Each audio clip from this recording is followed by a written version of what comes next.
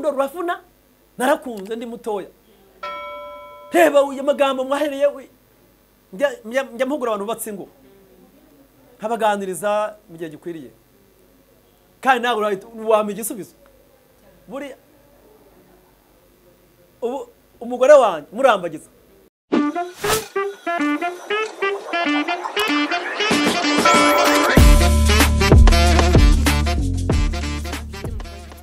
Cano yacu cano icaye ibiganiro bigiye bitandukanye ducishaho ubuzima tugacishaho ubuzima bw'ibimera uburyo twakwivurisha ibimera uburyo twakizwa tukava mu byaha n'ubuzima bugiye butandukanye iyi ni KTV ndabakunda kandi muhaye ikaze aho uri hose uri mu gihugu hagati uri mu ntara uri hanze y'igihugu cyane cyane mwebwe barundi munyereka ko nkunda cyane ndabasuhuje kandi mbahaye ikaze. Si mwe barundi gusa ah, n'abandi bari hanze abari muri erope abari muri zanzibar ah, n'abandi bari mu bihugu bitandukanye. Mu by'ukuri respect kuko ndabibona ko mudushyigikira kandi mbibutsa yuko muzajya mukora like ndetse nawe uri mushyashya ukiyabonesha ugakora subscribe kugira ngo tujye tubana umunsi ku munsi. Nk'uko mubibona dufite umutumirwa udasanzwe Ah, simuvugaho byinshi kuko murabibona ko akuze si umwana arivuga ubundi eh, abagezeho byinshi yaduteguriye muhaye ikaze mu kiganiro uratangira usuhuza abadukurikiye hanyuma ah, ukomeze twinjire mu kiganiro muhaye ikaze. Eh, murakoze amazina nitwa murangwa bonifasi bamenyere ku izina rya papa Eh, ndakijijwe ndi umukristo ndubatse mfite umudamu mfite abana icyenda. Ah, wamfasha izina ukarisubiramo? Murangwa bonifasi yego. Eh, ufite abana? Mfite umudamu dufite abana icyenda abahungu barindwi n'abakobwa babiri. Mm, Boniface ah, nk'uko amaze kubitubwira ni umugabo ufite umugore n'abana urumva ni abana batari bakeya ariko urabona ko ya- yakoze cyane kugira ngo abashe kubatunga. Eh, rero nakubaza ubuzima bwa Boniface ni ubuzima bumeze bute? Ni ubuzima bushingiye ku ki? Ni umuhinzi? Ni umuvugabutumwa ni mu ntoki. Eh, nahamagawe n'imana. Eh, urebye nkora akazi koroheje kampiba ku kwezi igihe kiragera karahagarara. Biba ngombwa ko njya gutura mu cyaro mu majyepfo mpaba ku bw'umurimo w'imana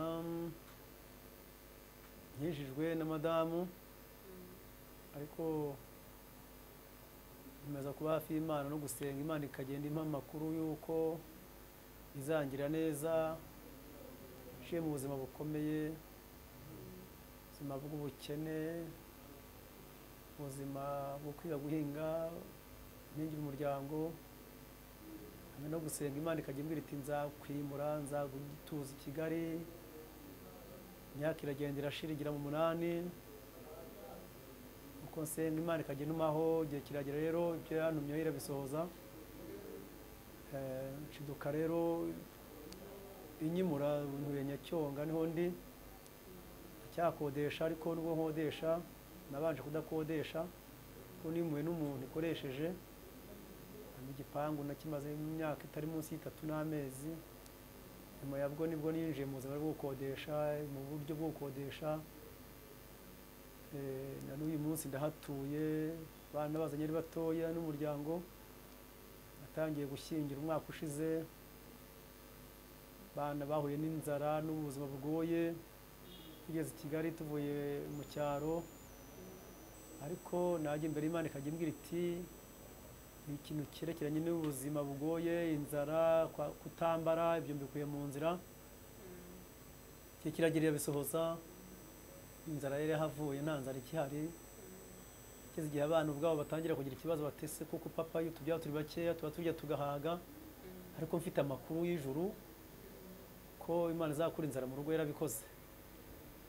Yarabikoze inzara irahava burundu. Imikoze yo kutagira imyenda ndambara amakositimu ndayabona inkweto zihenze ndambara mbese ibyo yarabikoze nta nta cyifuzo cy'ibiryo cyangwa se cy'imyambaro nkigira mu mutima wanjye. Ah, muri rusange imana yakuvuzeho byinshi bitandukanye ah, iranabisohoza. Anabisohoza Ah, hanyuma watubwira ubu twigeze tuvugana ku buzima bw'uburwayi wagize eh, ni gute eh, warwaye bikageraho wiheba bikageraho wi- wibaza ku buzima bwawe eh, watunyuriramo kugira ngo n'udukurikiye abasha kugira ibyo byiringiro. Nimba arwaye bimumereye nabi yarivuje nk'uko wagiye ubimbwira akivuza inzira zitandukanye bikanga ah, tunyuriremo uburwayi warwaye ah, bw'imbaraga z'umwijima ku buryo waje gutabarwa n'imana. Narwaye ibintu bigendanye n'imyuka mibi eh, naratanzwe na muka data w'igitambo kuko yari yarubakiye nyabingi. Eh, aje gushaka rero nk'usimbuye mama yaje ayizanye arayubakira. Mushiki wanjye umwe arabanje arasara bazengutse mu bitegahe hose ntibyakunda. Wamera nk'ubonye agahenge ariko nsigara ndi n'umuntu wonswe na nyabingi ntakira amaraso ku mubiri. Byabaye bibi kugeza ubwo ntoroka mba mu cyaro nza kigali ndi umwana mutoya. Ariko iyo myuka mibi yagiye inzerereza akabigira amajwi ambwira kujya kwamamaza atama abantu nijoro. Muri mirongo cyenda nabaye sehashika nziritse amaboko n'amaguru iyo myuka mibi ntura hasi. Kugeza ubwo baje kungira inama yo kujya mu bapfumu kuko sehashika binaniranye za serume zinaniranye imiti inaniranye azengurutse abapfumu batandukanye abandi asaga abami ibyo nisiga ibyo ndigata ibyo nambara ibyo byafashe ubusa. Muri mirongo cyenda na kane rero ni bwo nihamagara n'ijwi ry'imana ubwanjye ndyamye rimbwira ko nkize rimbwira ko rinkijije wampamagaye rero ni yesu ndamwibonera niyambariye amashapura ari aho ngaho ntacyo amariye yesu arankiza nyereka ampa amasezerano rero nyagenderamo. Ngira gutyo nyuma nagiye muri urugamba rwa mukadata kuntiza imyuka mibi kugeza ubwo intambara muzi yabaye mu rwanda rero kugira ngo nkire n'inzira ndende muri mirongo cyenda na gatatu yanije imyuka mibi nyohereza hano mu gakinjiro kuri adeperi muze n'urusengero nsimbuke ibyo narabikoze ndarufata igihe ngiye kurusimbuka bara babansingira abanyamasengesho baransengera imana rero ibanyuzamo ko intabaye inkijije mu kuvuga ko inkijije imyuka mibi bari bongeye kunteza inzira kugira ngo nyikire rero nuko byanyuze ko uwanezaga ibyo ngibyo nashidutse muri jenoside we intambara imuhitana na bashiki banjye na data nsigara gutya ariko ikintu kigendanye n'imyuka mibi cyo kiva mu nzira nari mfite imyaka mirongo itatu n'indi ntemerewe gushaka umugore ntemerewe kubaka yarankoreye ibyo bibi byose kugira ngo ntazashaka ni bwo bakiva mu nzira ni bwo batima gushaka kaje. Burundu ndubatse mfite umudamu n'abana. Hanyuma uwo mukaso amaze koherezaho izo mbaraga z'umwijima ah, ahantu hose wajyaga kwi- kwivuza se bakubwiraga ko uzakira cyangwa se bari abantu ba- bamwe b'abatubuzi babeshya ngo baravura kandi barabeshyaga ariko ntacyo byamariraga. Muri make iyo bagwaga imiti nta kintu ntacyo byatanga. yamariraga na mba. Ugiye waje kubona wisanze ku rusengero wagiye wenda njyamye ko wenda ryansanze mu buriri. Rirakubwira ngo haguruka ugende rinyere ku rusengero njyamo mu gasave. Mm. Eh, ugezeyo Byabaye ni ho ngombwa. batangiye ku- kumva hafi no kundera mu masengesho.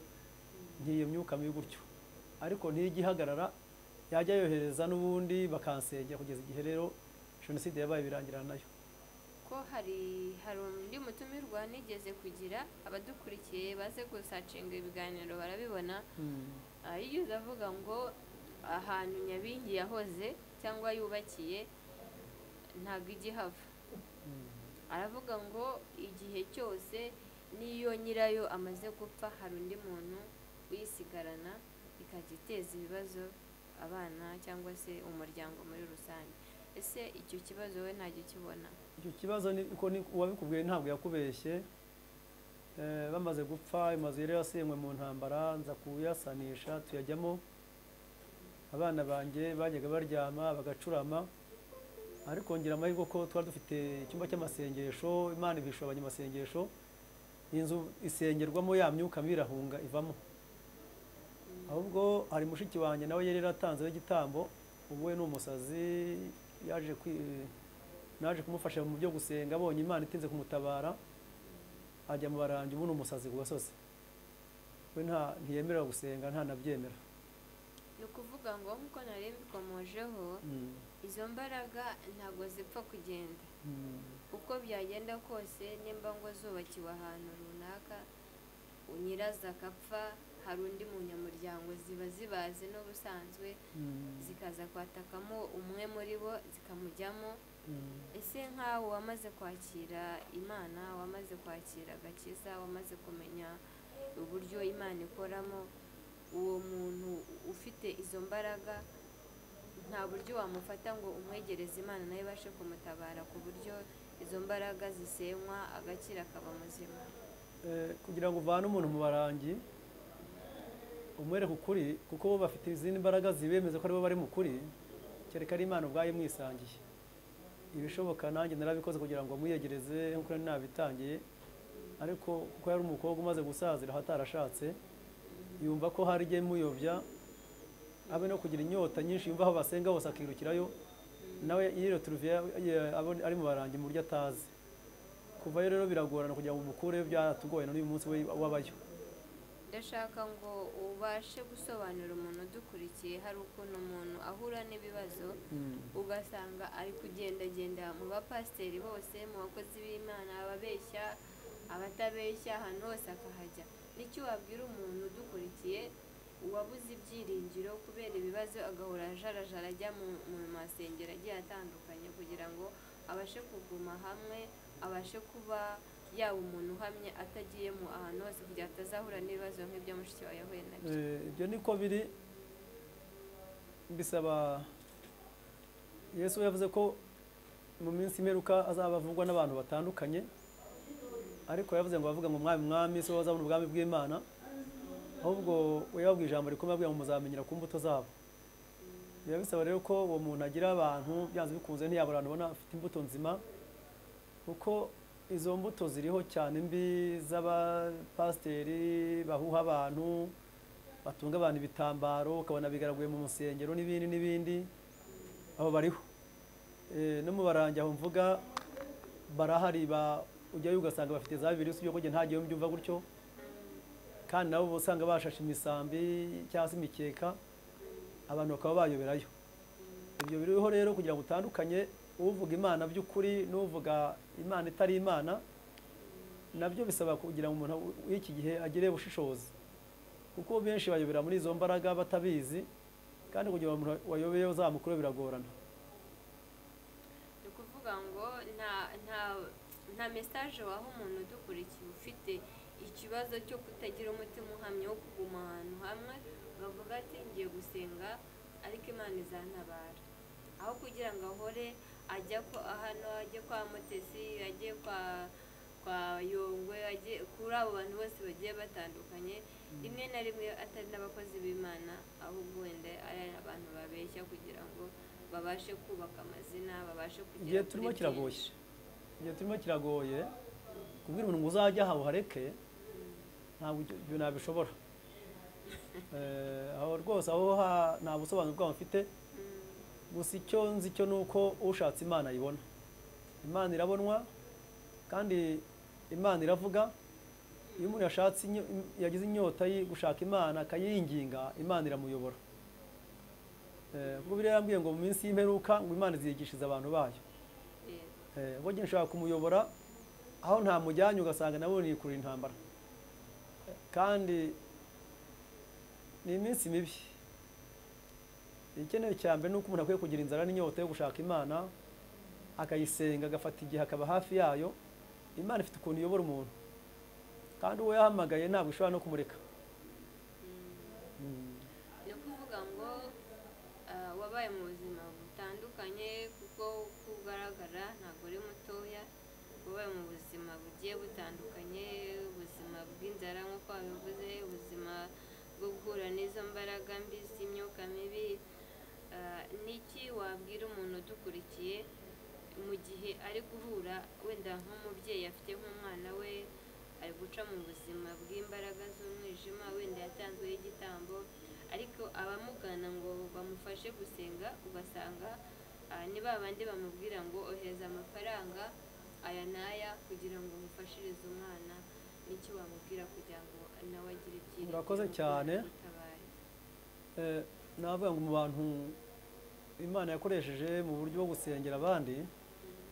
Nanjye ndimo ko nagiye ngira umuhamagaro wo gusenga gusengera abandi. Umuhamagaro umaranye igihe kinini si umwaka umwe si icumi irarenga. U rwanda naruzengurutse sinjya ngira igihe cyo kwicara no hanze yarwo nagiye mpazenguruka. Ariko uyu mwuka wo kubwira abantu ngo hereza amafaranga ya n'aya nze ngusengere tanga ibitambo gira gutya na gutya. Ubundi uwo muntu wagumye no kumugiraho amakenga byonyine ki- ni ikimenyetso cy'uko uwo muntu atari imana akorera. Kuko ijambo ry'imana ubwaryo rivuga ngo mwahere ubuntu mutangire ubundi. Eh, yenda icyo navuga cyo ushobora gukenera umuntu ugusengera umuzi ko ari umunyamasengesho ariko ugasanga kenshi na kenshi ushobora kubura itike. Itike si ibiciro mujyamo. Ntabwo ari ibiciro ngo nutohereza yasinza urugero niba mvuye nyacyonga kugera kuva nyacyonga kugera aha ngaha na- mu mujyi n'amafaranga atarenze magana atanu. Niba mvuye nguriza bitanu uwo mwuka si uw'imana. Ntabwo ari uw'imana. Noneho ikindi wowe bwawe umutima ushobora no kubwira uti uyu muntu w'imana ndashaka kumushyigikira kugira ngo akore umurimo w'imana. Ushobora no kumuha n'inka. Ushobora no kumuha n'igihumbi. Ushobora kumuha n'intama. Ushobora kumuha n'inkoko ni urugero ntanzi. Ushobora no kumujyana muri resitora ukamugurira icyo kurya cyangwa ukamugurira fanta. Ariko si ikiguzi. Ntaryo ntaryo ntaryo uyu mwuka uvuga ngo zanaye ngo usengere ni uwa shitani si uw'imana cyangwa ati mfite imodoka Eh, nshyiramo esanse eh, bwo bi- makumyabiri nakubiye hamwe nakubiye hamwe Nakubiye- ijambo rivuga ngo twahere ubuntu dutangire ubundi. Uyu mwuka wo kujya mu biciro ntabwo ndawinjiramo sinzanawinjiramo. Kandi si uko ntabonye neza y'imana. Ndayibona mu bana mfite bagiye biga n'ejo bundi umwaka ushize hari uwakoze ubukwe umunsi w'ubukwe mbona nari mfite amasezerano nk'ayo nababwiraga mbona umusaza w'umu- w'umukazana wanjye mbona amuhaye ivatiri ya miliyoni cumi n'ebyiri. Ntabwo nayisabye rero ngo muzayimuhe. Uwo mwuka wo kuvuga ngo imana icyo yatubwiye izagisohoza. Imana ikorera mu bantu. N'ibindi izabikora. Hari n'abagiye biga amashuri bakayarangiza nk'umwana mukuru yize segonderi arihirwa n'umubikira. Sinigeze njya kubwira umubikira ngo namfashe kurihira umwana. Ahubwo yumvise abantu bantaramiyeho ho kubera ko umwana buje ubushobozi umubikira numva ngo yabasabye nimero antumaho ngo nimushyire umwana mu gihembwe cya kabiri. Amurira ishuri yiga afite ubwenge arangiza afite amanota meza umwana w'umukobwa nashidutse umugore wa nyakubahwa perezida w'igihugu cy'u rwanda arimo haburusa ntabwo umugore wa perezida anzi jeannette ntabwo azi sinanamuzi ugiye kumubona kuri televiziyo n'ahandi. Rero hari ibintu imana ivuga inakora ibasha kubinyuza mu bantu ariko igihe yabibwiye nta ruhare mbigizemo. Niba imana yambwiye ngo nzaguha imodoka nk'uko ni urugero. Ntabwo nzajya kubwira naka ngo ufite imodoka eshanu mpimwe ifite inzira izabinyuzamo. Hari uwo nigeze kumva wabwiye abantu ngo wabwiye undi ngo imana irambwiye ngo ntemera kiriya gitoki. Aramubwira ngo genda ubwire iyo mana ikubwiye ibyo izi ikigutemera rero uwo wamushuje gutyo yari mu kuri. Imana yavuganye natwe tuzarya igitoki tuzahakirya. Eh? uko byaba Eh, bizagira kose zirinda ijambo ryayo. Kandi mu gihe igihe cyo kukigira kitaragera nzarya uko ibyemeye nyuzwe mu ruganda. Eh, ndya ibyo kurya by'agahimano kandi nyurwe na byo. Kandi narabiriye pe. Ariko sinigeze mbuza abantu b'imana umutekano ngo wowe urarya ugasigaza ngo n'iwanjye byoherezeyo miro zaburi ijana na cumi n'icyenda murongo ijana na makumyabiri na gatandatu navuga ngo igihe gikwiriye cyo gukora k'uwiteka kirasohoye. Igihe kitari cyasohora nta kimana ikora. Imana ikorera igihe mbere y'igihe si igihe nyuma y'igihe si igihe igihe ni cyo gihe. Iyo igihe cyageze ibyo yavuze irabisohoza. Ntabwo igishwa inama ntigisha abantu inama ngo ninjya gukora mpere kuki? Ifite ubushobozi bwinshi. Imana iravuga irakora. Ndiba ko ni bwo yigeze imbwira turiya nyacyonga muri santire ngo ninsohoke mu muhanda. Nsohoke mu nzu njye mu muhanda. Ndasohoka numva ijwi ry'imana ngeze mu muhanda mpasanga ambaraje y'amafaranga. Hari ikibazo gikomeye. Ambaraje ndayiterura. Nzinguye nsanga iyi kake bahahiramo. Iriya bita mverope nzinguye nsanga inote zipanzemo. Ndagenda mpahira abana banjye byabayeho. Hariya nyacyoga. Eh, ubundi yigeze ikoresha umusangwabutaka w'iriya gisenyi bita mu ngororero. Igihe turi mu gutegura kuryama n'abana. Ampamagara ari muri gare hepfo ha nyabugogo. Arambwira ati ndagushaka ndi kanaka. Mubwira ko mushushanyiza inzira ari kuri butege ati ntabwo nje niba utaje kuntu wasinje aramaramaza ngo ntari buze nshakira umuturanyi wanjye nguze itike ngeze muri gare hepfo aha nsanga yikoreye urukapu rw'ama- bwayise amayanga imineke mpita mpamagara madamu ngo nabuze abana kuryama batariye. Imana ifite inzira nyinshi ikoresha kugira ngo isohoze ibyo yavuze. Niba yavuze ngo uzarya uzarya. Niba yavuze ngo uzambara uzambara. Niba yavuze ngo uzubaho uzubaho niba yavuze ngo uzazenga u rwanda umvugira. Ifite inzira izabikoresha nta ruba bigizemo kuko yishobora byose. Eh, rero imana irabona imana irakora.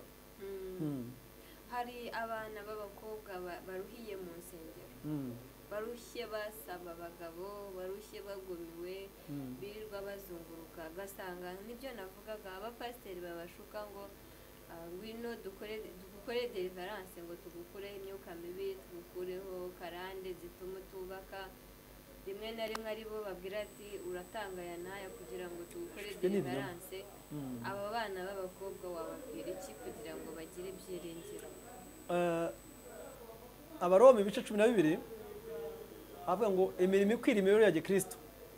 Ngo nuko ndabinginze ngo mutange imibiri yanyu ibitambo bizima byera bishima n'imana. Ngo niko kwikorera kwanyu gukwiriye ngo n'ibishushanyo n'ab'iki gihe.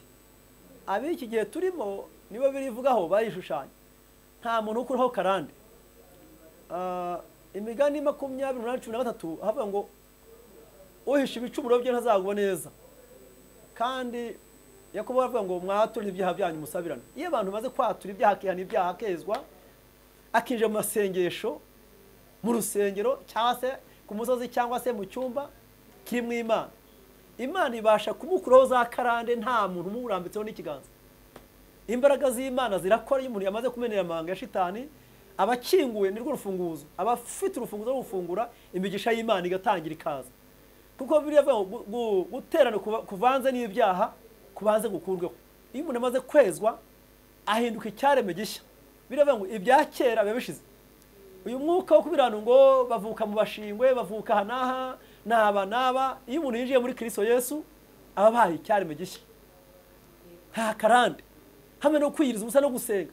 Imana ntikuri umuntu usengana ibyaha. Urumva nkimara kwihana inzaratsi imiti y'abapfumu ibyo nageneraga byose narajugunye ndatwika. Ntangira kwinjira mu nzu y'imana nta bintu by'imbaraga z'umwijima bindi njyanyemo ni nko kuvuga ngo ntanze horeme imana niyo izigira ite ikore. Iyo wemereye imana irakora. Mm, ntibangikanywa. Kuko ifite imbaraga ifite ubushobozi. Ni ukuvuga ngo wa muntu ugiye kugukorera deliverance Mm. bivuze yuko eh, nta kintu aba ari kugufasha Ah, usibye namba, ni yuko ibinyoma. aba ari kukubeshya ni ibinyoma. Ni ibinyoma ni ibinyoma. Mu masengesho twabayemo twagize ibihe byiza umwuka w'imana kuruka imana igakora imirimo imbaraga z'imana zikagaragara. Twabonye abantu bakira indwara abantu bamoka barabatanzeho ibitambo muri za kongo n'ahandi. Bagakira tubireba. Nanjye mbarimo nari mfite imyuka mibi ntayo ntayo ntayo hanyuma wowe ukoresha izihe mbaraga iyo ugiye gusengera umuntu mu gihe afite ah, ni uko umwaturuje ibyaha. Mm, bibaye byiza sindwa mugera naho mu cyumba. Mm, tunjira mu masengesho nk'uko turi aha twese. Abantu bakatura bakezwa tugasenga imana. Imana ibasha gukora igitangaza utanakoze ku muntu. Zaburi ijana na kane umurongo wa kane havuga ngo agira abamarayika imiyaga. Zaburi ni kuvuga ijana na kane umurongo wa kane. Ngo abagaragu bahindura umuriro waka. Umuriro w'imana ujya washa kwaka igicaniro kikaka imbaraga z'imana zigakora umurimo nta muntu urambitseho n'ikiganza. Iyi mubona abantu birirwa bigarurwa mu nsengero hasi umubyeyi wiyubashye se uko araha nyirabukwe araha umukazana abana baraha abuzukuru baraha umubyeyi papa w'umusaza nkanjye cyangwa se ugasanga ba- bafashe baroshaho ibintu uwo mwuka utubona hasi ntabwo ari uw'imana. Ntabwo ari uw'imana. Ntabwo ari uw'imana. Umwuka w'imana ugaragara ahantu hasi tuzi uyu mwuka wera nanjye ndi umuhanuzi imana ijya inkorera ngahanura. Ntaho nigeze mbona. Mu myaka maze mu rusengero ntabwo ndabona umwuka untura hasi cyangwa utura hasi abo twasenganye. Si uko dufite imbaraga z'imana si uko tutuzi umwuka wera. Ntabwo umwuka ari uw'imana. Ni ukuvuga ngo bariya abapasiteri urabona bireze kuri ubu. Eh, bireze. Abapasiteri benshi ba- bagiye batandukanye. Mm. bitwaza amakamera kugira ngo babashe kubona abayoboke babone ko bakora ibitangaza ubwo ushatse guhinyuza ko ziriya mbaraga bakoresha atari iz'Imana. ntabwo ari iz'imana abo ngabo bibiri bavugaho ibavugaho ntabwo twahanuraga mu izina ryawe mwami. Kuko urumva bahanuraga mu izina rya nde? Ya Yesu. rya yesu. Ariko azabwira ngo mwumve imbere yanjye mwankozi zibimwe sinigeze kubamenya abo bibiri bavugaho si igitangaza si ikibazo. Mwumve imbere sinigeze kubamenya. Mwankozi bimwe. Nabaturiye mu ruhango eh, mpatangira ubutayu bw'ishyamba mpatangira ubutayu bw'amazi inyuma hasengeye abantu batandukanye hakiriye abantu za sida za kanseri n'ubu harabona hakuza bakaguhamiriza mu bahakira izo ndwara. Abandi bagiye dutubaho mu ngo mu buriri ba- batabyuka nta n'uwo nigeze mbwira ngo name igiceri cy'ijana. Icyo ni icya mbere. Icya kabiri. Izo mbaraga zibatura hasi ntazo nigeze mbona. Kandi barakize. Rwose Eh, hari abagize za kanseri burundu. Burundu burundu ndabafite. Naza naha bagahamiriza iteraniro ryose ko bikire za kanseri. Ariho n'ufite rwose umugabo yasezeye haragenda ibitaro by'i kigali binaniranye byose bimunaniwe. Ahamagara imiryango ayereka impapuro n'iki byose arabwira ati aramuka apfuye ejo cyangwa ejo bundi muzamushyingure ndagiye ndananiwe. Uyu munsi ari aho ni umuforomokazi ni umuganga ni umubyaza mu gace ko mu ruhango.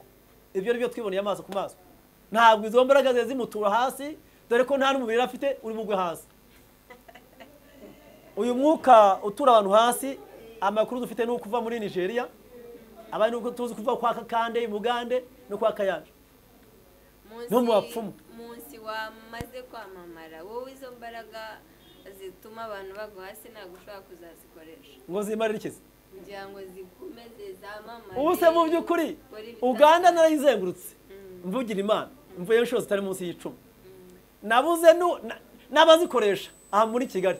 Hari abo najyaga nakira mu ruhango batari bazigira nabuze n'umwe na uw'inshuti wamenera iryo banga ngo umusange nanjye menyekane nkire. Ariko ubukire butavuye ku mana. Kuko ni- n'intego ni ugukira. Eh, bemeza abantu babazanire ibintu. Yego. Ariko uwo mwuka aho kugira ngo mbure ubugingo. Uwo mwuka ntuzagera iwanjye kandi uko ndi waramaramaje naramaramaje ndashaka ubugingo kuruta imyambaro. Ubugingo buruta kumenyekana kumenywa n'abakomeye. Ubugingo burahenze. Ubugingo buzabona imana. Abo yesu yavuze ngo mwumve imbere mwa nkozi z'ibimwe singize kubamenya. Njye naje aha muri kigali. Umupasiteri hagurutse umuntu amubwira aho yaturutse mu mutara. Amubwira amazina ye yose. Amubwira nimero za telefone amubwira n'igihe yavukiye. Ariko kuri. Aho rero kugira ngo uzavuge uti uyu muntu ntabwo ari imana imukoresha? Biragoye. Ariko wibuke ko n'abapasiteri bamwe na bamwe bafite izo mbaraga z'umwijima babasha kurondora. Nyine ni- n'ibyo yarondoraga byari iby'umwijima ariko ze zimukoresha. Hmm. ari pasiteri. Hari pasiteri. Ngiye muzi atari yagura izo mbaraga rero. Naramwakira nanjye nkamusengera numvise amakuru nza kureba sara ayobora. Mm. Hmm. mpageze.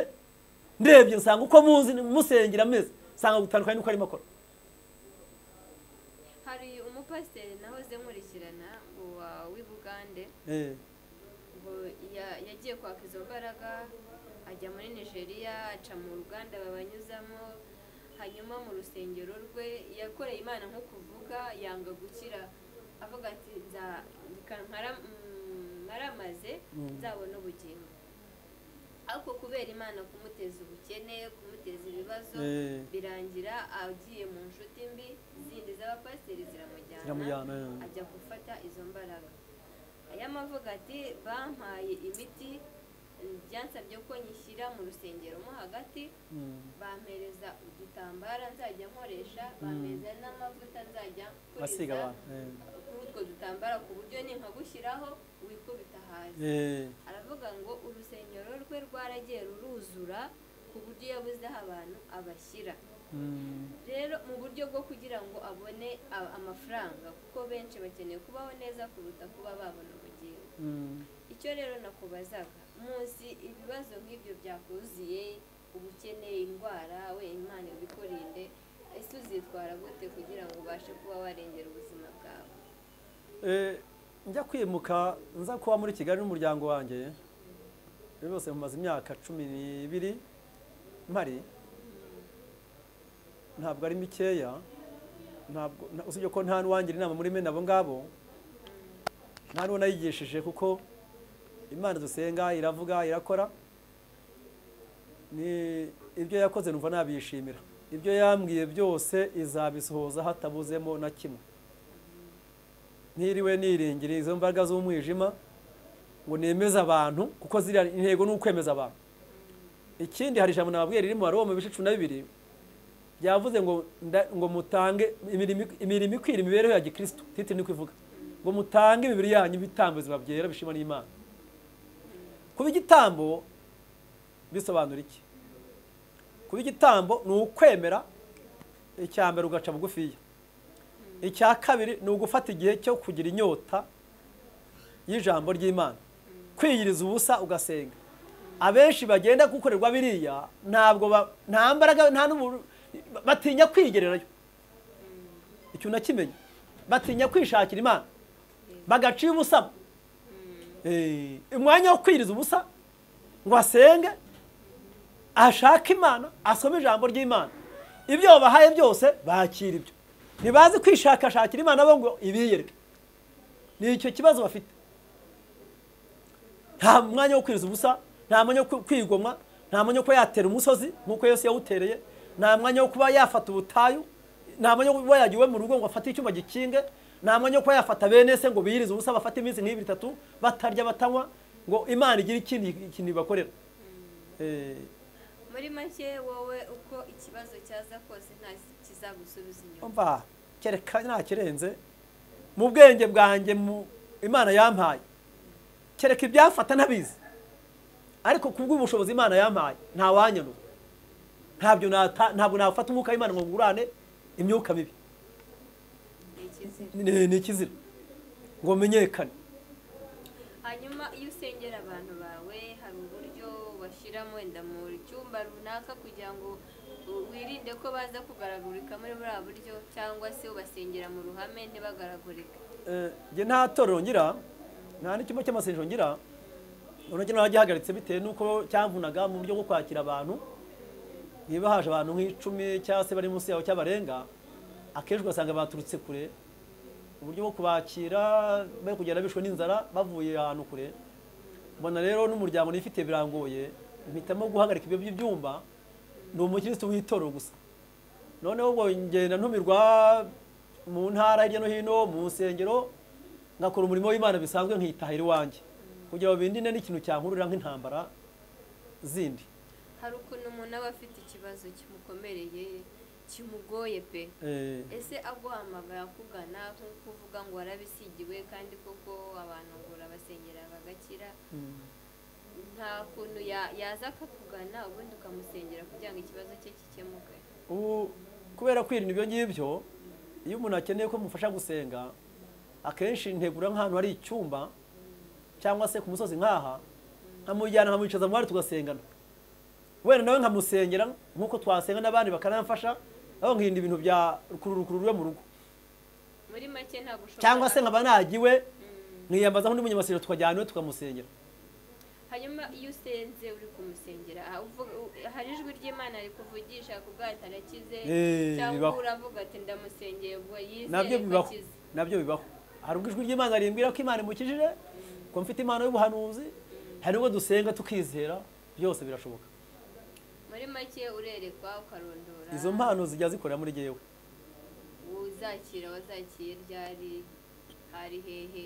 Nazakiriye urebye ni mu bibare muri za mirongo cyenda na karindwi n'umunani muri iyo myaka uko ari ibiri Mm. Eh, ubwo twagize ububyutse dumaseshe iminsi irindwi imana isuka impano zayo hasuka ububyutse tuhagira ibihe byiza tugirwa n'ubuntu bwo kugira abantu baturera barera izo mpano z'imana kugeza igihe imana itangiye kudukoresha no kutugenda idutuma kandi turabishimira hari ukuntu abahanuzi bamwe na bamwe bajya bagira amakosa Mm.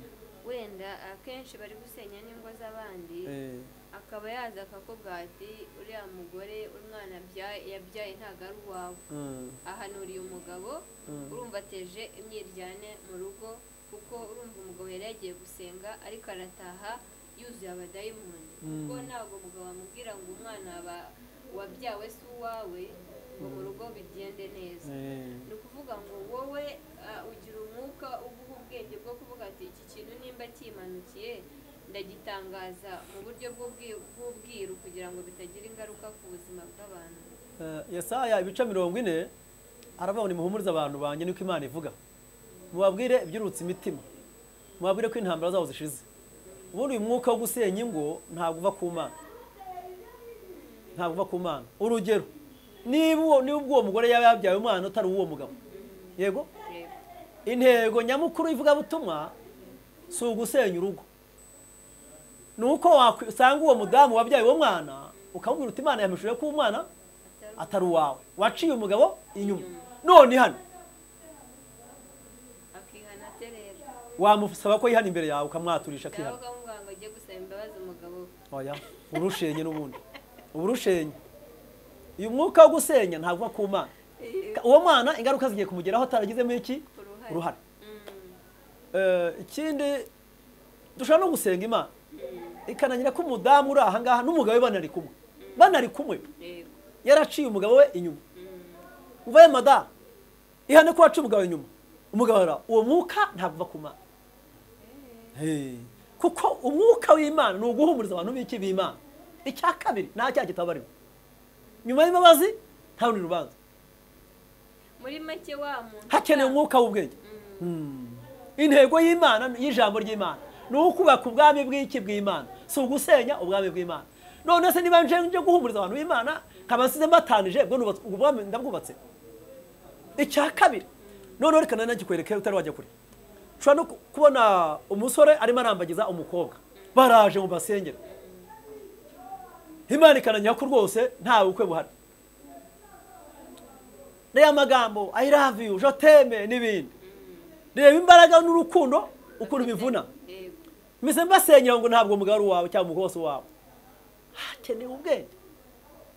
Bibaye ngombwa si uko nunyona nabihishurirwa nashatse ukuntu mbasengera. Nkihanisha abantu icyaha kigaragara imbere y'amaso y'abantu. Ariko uyu mwuka niyo wazuye ku mana. Nawe umeze nkaceceka kugira ngo usenye abantu b'imana. Ni ibintu byo gusenya.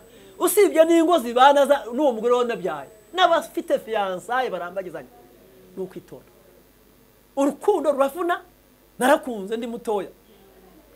Reba uyu magambo mwahereye njya- mpugura abantu bubatse ingo. Nkabaganiriza mu gihe gikwiriye.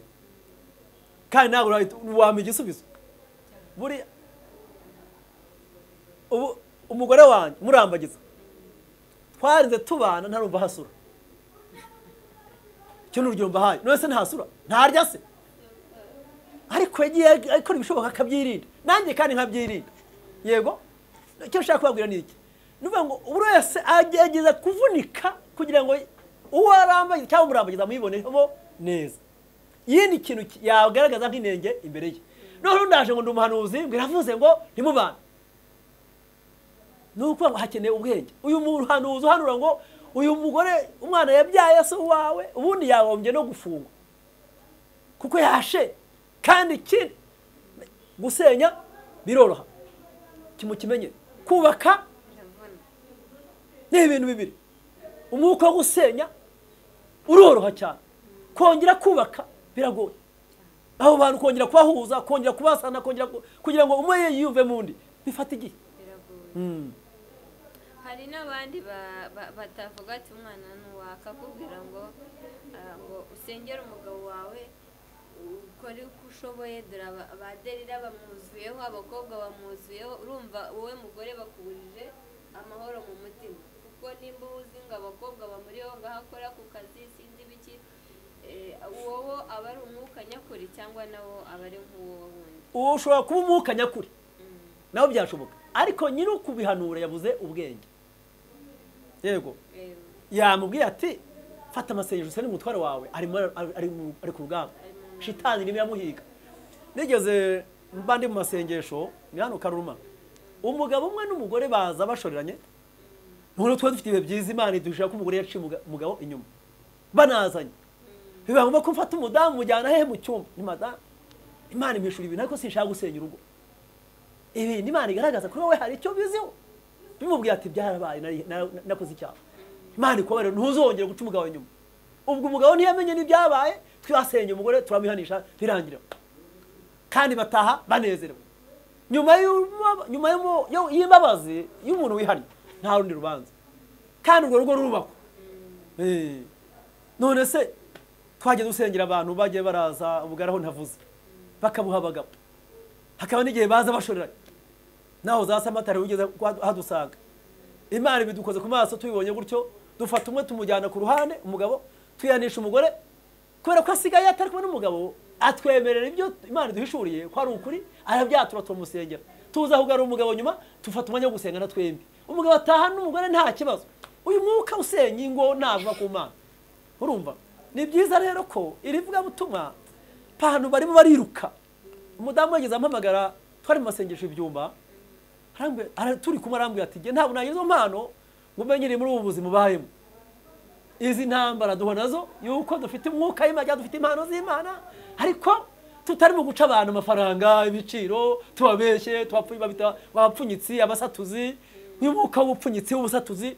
Imana izawundinde urumva? Ntabwo ku mana kandi ikindi nunakurikira aba bantu bagiye bamenyekana muri uru rwanda. Uyu munsi abonzi cyangwa n'abo wabuze. Uyu munsi usanga amateka barimo kugenda aba mabi kubera iki? Barimo baratwara iby'imana uko bishakiye. Hari undi twasenganye nk'uko nguko yabonaga uriya agakecuru cyangwa se uri umwana w'umukobwa wa- w'umukene ushaje atuma we yane kuroga. Yabona ukeye nk'uko imana yaguhaye ubwiza ati imana iguhaye itike ugiye muri amerika? Ugiye mu Eh, ndege urumva ugiye mu ndege. Urumva rero ibi bintu ntabwo biva ku mana. N'uwo muki buze jye kwijya imbwira indege. Nari umuzamu hirya mu kiyovu. Ntabwo imana ireba nk'abantu Eh, ntabwo ireba nk'abantu ishobora kuvana umuntu yazuye razara amaze iminsi ingahe mu gituro? Akazuka. Ishobora kumvana mu gituro cy'ubukene uyu munsi ndimo ikambana mu bazamu nari umuzamu urare bakire. Nanjye izo ndege nkagera na zo. Ntabwo imana ireba ngo yiza aha afite ibi eh, ameze atya? Reka ntabwo imana ihera ku bintu bifatika. Kumu- yari kumukiza akiri muzima. Yemera ko apfa kugira ngo azuke abantu bamenye ko imana itagarukira mu bifatika. Ibasha kuzana n'abapfuye Eh, n'uyu munsi ya- yanzura. Yamenyekanisha. Natunga iyo modoka. Ubwo se uwo muhungu iwanjye nkubwiye wabonye iyo modoka? Usibye ko yari afite perimeda yari atatunga na moto ya miliyoni. Urumva? Ariko ubu njya mbona banyuza mu ivatiri muri dati baranayizi nkabona nanjye nicaye nguwe neza. Hmm? n'uyu munsi njya numva ivuga n'indi. Ubwo ntegereje ko ibyo yavuze izabisohoza. Ntabwo imana ifashwa. Nuko abantu bajya bibeshya ngo irafashwa. Ngo we no muri banki ukayaguza agashya karangira ariko igihe cy'imana cyagera igakora. Ni izihe mbogamizi rero muhura mwe na zo mu ivugabutumwa nk'uko umuntu ashobora guhanurirwa gutyo? Abandi bo ku ruhande urumva haba harimo abaje gusenga haba hari n'abaje gutara amakuru. Eh, mujya mugira igihe cy'amahugurwa muhugura ba bantu bafite imbaraga mbi zo kujyana amakuru hanze no hanze cyangwa se biherera aho ngaho bikarangira aho mwasengera eh, urakoze cyane. Mu cyumweru ndumva ari ibyumweru bishize mu minsi ya pantekote nari mfite ubutumire mu majyaruguru muri paruwasi imwe habayeho kuganiriza abanyempano kwabo nasanze umushumba yarabateguye. Eh, abanyempano bo twari twasenganye gusa. Ubwo nibo nabashije guhugura mu ijambo ry'imana n'iryo dusoma. Izo mpano z'imana ziri mu bakorinto ba mbere ibice cumi na bibiri ku murongo wa mbere umanutse ukageza hasi. Imana izivugaho izo gukora ibitangaza izo guhanura izo kuhanura imyuka mibi izo kuvuga indimi nshya izo kuzisobanura. Izo mpano zanditse muri icyo gitabo mvuze bakorinto ba mbere cya mbere ibice cumi na bibiri bambe uhere ku murongo wa mbere. Ubundi rero eh, izi mpano z'imana ni byiza ko niyo twanahanura n'abandi habaho igihe cyo guhagarika guhanura abandi natwe ubwacu ko umwanya wo gusengera izo mpano z'imana kugira ngo zikore muri twebwe. Eh, ni ukuvuga mujya mugira Igihe cyo cyacu bwite. gukorana Eh. mukagirana inama kugira ngo Eh, mugire ubwenge mu byo eh, mukora kandi ubuhanuzi ubundi bugendana n'ijambo ry'imana. Mm. Eh, biruzuzanya. Nta muntu ushobora guhanura adafite ijambo ry'imana muri we. Ah, niyo akenshi ubu- ubugenzuza Mm. ijambo ry'imana. Kugira ngo bibashe gusohora. Eh, kandi ikindi biriya bivuga ngo n'ubuhanuzi bwemerwa ari uko busohoye.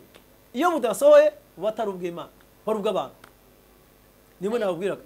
hariho abantu bitirira ko bahanura kandi atari byo. Eh, byashoboka.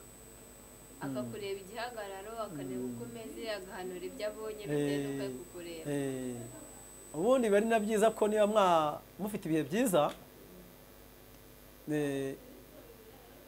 sinkunze kubaza abantu ngo ufite ibyifuzo ki? Kuko ibyo ufite ibyifuzo ufite imana irabizi. Iyo twagize ibihe byiza imana itubwira amakuru y'urugo rwawe n'abana bawe n'umugore wawe n'ibyo ugiye gukora n'ibyo yakurinze. Hakaba n'ibyo ikubwira yakurinze nawe yakurindiye ukumva urahazi Mm. noneho agahita ikubwira n'ibyo ugiye gukora rero na byo bikazasohora. Hakaba n'igihe uvuga uti kabisa ibintu imana imbwiye nari byari icyifuzo nari imaranye igihe none ubivuze nta ta- nta cyifuzo natanze bivuye ku mana nta n'umuntu nabivuga Eh, eh. U- ugira ishimwe ringana gute iyo umuntu ya- wamuhanuriye nk'ikintu kigasohora muri wowe wumva umerewe gute? Biranezeza mu mutima cyane. Eh, kugirirwa icyizere n'imana ibyo ikunyujijemo ukabona birasohoye. Biranezeza cyane. Ni na yo mpamvu ubundi aha nanahavuge eh, nasoma igitabo cya samweli kivuga yuko iyo umuntu yajyaga kuba nawe ubwe ngo yanga kugenda ikimbokoboko ariko samweli nawe ya- yatumaga ibyo ajyana ntawe yatumaga. Ahubwo umuntu uri ubwe ni we n'imana. Mm, yavuga ati ko tugiye ku mukozi w'imana ku muhanuzi w'imana turagenda. Imbokoboko Baki- ubwabo bakibwiriza. Eh, bakibwiriza. Eh, yenda ngira ikindi namuvuga eh, nka mwene data w'ukarara turamenyeranye. Mu buzima busanzwe mu myaka tumaranye iri hejuru y'icumi. Ushobora kugira ikibazo? Bitewe n'uko muyiva muri igihe tumaranye. Amubwira nti nkeneye itike ibihumbi bibiri. Ariko ntabwo naza kubwira umuntu nasengeye utanzi ntamuzi nta na banki nuko yari umusengere ntugere utasize bibiri.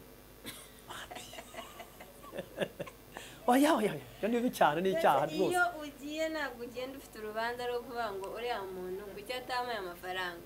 Kandi ntamusengeye Mhm. wapi? Imana ikorera igihe. Mm. Eh, ikorera igihe. imana yavuganye natwe ushobora no gusenga rwose ugasengera abantu ukanayobora iteraniro kwigisha abantu imana ikagukoresha njya mbwira abantu ngo umuhanu- umuhanuzi ashobora guhanura imana ikemera ko aburara. Ikihugu ni cyo nagatinzeho. Ushobora guhanura abantu ibitangaza bigakoreka indwara zigakira abantu bakaba bazima ibimuga bikitera hejuru ugataha ukabura imana yabyemeye. Kandi kandi imirimo y'imana igaragarira muri we. Cya kabiri ushobora gusenyera abantu ibitangaza bigakoreka bagatabarwa. Imana ikemera ko ukuburiwe cyangwa wambara ubusa. Aha rero abantu barimo barahasimbuka. Ariko yakobo yavuze ngo hahirwa rimwe cumi na kabiri hahirwa wihanganye mugerageza kuko namara kwemerwa azahabwa ikamba ry'ubugingo. Tujya tugeragezwa n'ubukene bwo kwambara ubusa tuba tugeragezwa no kugira inzara ariko si sudire. Umuhanuzi nyamuhanuzi ntawe ushobora gupfa atageze i yerusalemu. I yerusalemu ni hehe? Ni mu masezerano. Eh, ntawe ntibibaho. Imana yamuhamagaye ubundi ikintu gihenze cya mbere muri byose ni ukugirwa icyizere n'imana. Ikakugirira icyizere ikaguha impano zayo ikazikubitsa ikemera ko uzikoresha ni icyizere imana ibikugiriye ni na yo mpamvu ukwiye wenye kuzihabwa kuzibera amaso ukazicungira umutekano ukazijera neza. Imana ikazibyaza umusaruro itorero rikunguka n'igihugu wacyo kikunguka. Intego yawe nyamukuru ni iyihe? Ni ukuba wakura abantu mu byaha Cyane. bakakira yesu cyangwa ni uguhanura nk'uko wahawe ubwo buhabasha bwo guhanura. Ngira ubugisha Mm, aho kugira ngo mpanure mm. navanana mu byaha. Ako siyo mpano wahawe? Mfite impano y'ivugabutumwa Mm, Eh, mfite impano yo gusengera abarwayi. Mfite impano yo guhanura wahawe impano eshatu n'igihe hazamo n'izindi no kurota no guhishurirwa buryo ukarondora ndagushimiye cyane imana iguha umugisha murakoze cyane namwe reka nkushimire wowe rero wabanye natwe kuva ikiganiro gitangiye tukaba tugeze ku musozo mu by'ukuri boniface yakoze cyane yatugejejeho ubuhamya bwiza cyane atubwira abahanuzi bari b'inyuma bariho ubu wowe udukurikiye ni wowe kujonjora ukamenya ngo ndaca muri ino nzira cyangwa ndanyura muri iyi ngiyi. Mubwira ngo niba umukeneye cyangwa se niba ukeneye byinshi urandika muri komenti kugira ngo usige icyifuzo cyawe nawe nk'umukozi w'imana azagufashe mu gusengera hanyuma ibindi nakagaruka icyo nkwibutsa ni uko ugomba gukora subscribe kugira ngo ujye ubona ubuhamya bwinshi butandukanye kugira ngo imana ikomeze kubana nawe mu buzima bwawe bwa buri munsi. Kandi wibuka no gukora like uhereza n'abandi kugira ngo babashe kugira ubuzima bwiza kuko ushobora kuba umaze igihe urwaye ufite izo ndwara z'abazimu ufite ibibazo bitandukanye ukaba ugiriwe ubuntu ukaba wabona boniface akaba yagusengera wumvishe ko eh, ari we ari umukozi w'imana we nyawe atari ba bandi bagusaba ngo zana zana zana ahubwo akorera imana bya nyabyo. Ndabakunda cyane. Ni ukuri muraba agaciro kandi mu by'ukuri ndabizi neza yuko mudukunda ndabibona. Imana y'amahoro ikomeze kubana namwe twabanaga kamere darira nawe utaha ciao